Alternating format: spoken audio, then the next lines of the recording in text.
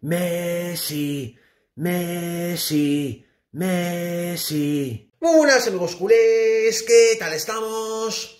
Después de añadir ayer en París otro trofeo a su gran palmarés, ganando el premio Laureus al mejor deportista del año, a nivel individual y colectivo, con guiño al Barça incluido, en su discurso a recibir el galardón, Leo Messi está a la espera que el Barça pueda resolver el tema del fair play financiero para anunciar su gran vuelta. Atención a esta noticia bomba de última hora.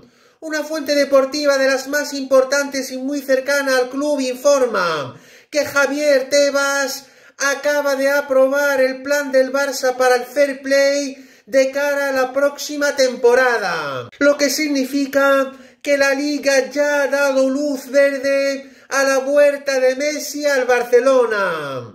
La misma fuente asegura que Messi viajará la próxima semana a la ciudad condal para firmar su contrato con el club blaugrana por las próximas dos campañas.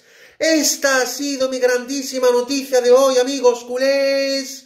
No os olvidéis suscribirse a mi canal, que no os cuesta nada, pulsar un like como siempre y dejarme comentarios para cambiar opiniones. Muchas gracias, Forza Barça por siempre, vamos a por todas y nos vemos muy pronto en mi próximo vídeo.